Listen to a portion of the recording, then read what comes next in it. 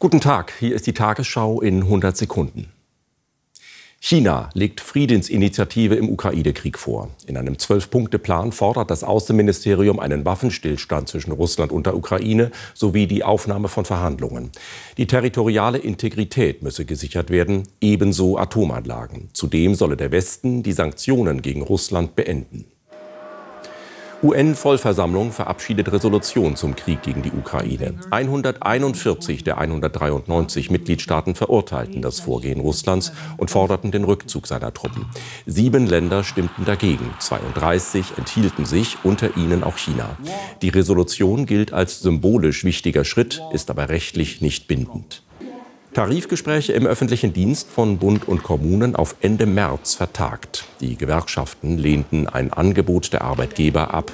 Es sah 5 Prozent mehr Geld in zwei Stufen und eine Einmalzahlung von 2.500 Euro für die zweieinhalb Millionen Beschäftigten vor. In den kommenden Wochen sind erneut Warnstreiks zu erwarten. Erfolge für die beiden deutschen Fußballclubs in der Europa League. Union Berlin besiegte Ajax Amsterdam mit 3 zu 1 und steht damit im Achtelfinale.